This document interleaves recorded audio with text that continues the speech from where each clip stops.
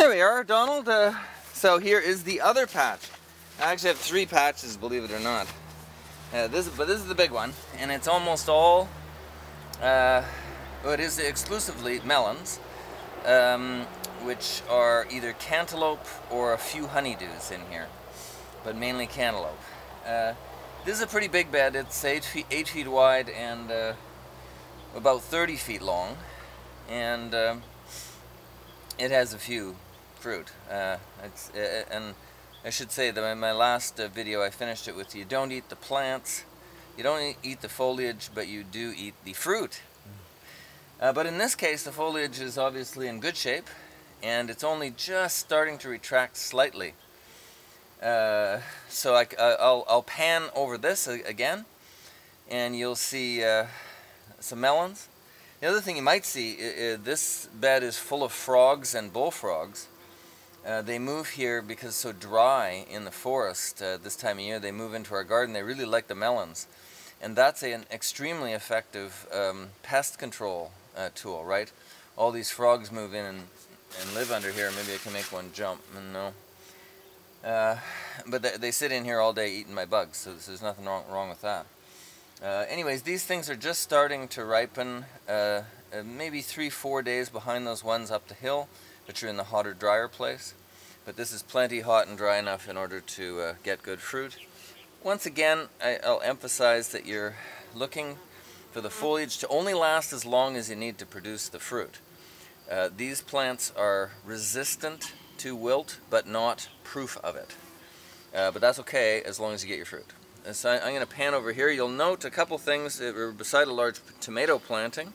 On the left, you might see that. And then on the right is a pumpkin planting, which has about 15 pumpkins, and it's starting to die off, and uh, it, it gets diseases too. But uh, all the, all the uh, pumpkins are excellent. And uh, it was interesting that these these melons held their own, uh, planted next to pumpkins, and really, uh, if there was a war, I'd say the, the melons won. I'll pan over here.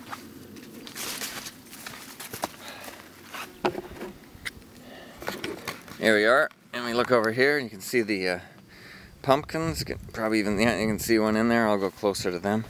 This is very hard to film because it's uh, such a large planting, right? I mean, it's just ridiculous. Uh, but if you look inside, you know, there's some big melons in there, eh? And uh, a couple over here. That, that one is a honeydew. These are cantaloupe. And then over here is the ones that Anne likes the best, which are a couple of honeydews that kind of presented themselves out here. These are big, eh? Like if you put my hand there, you can see these are big. These are uh, like five pounds each, right? Yeah.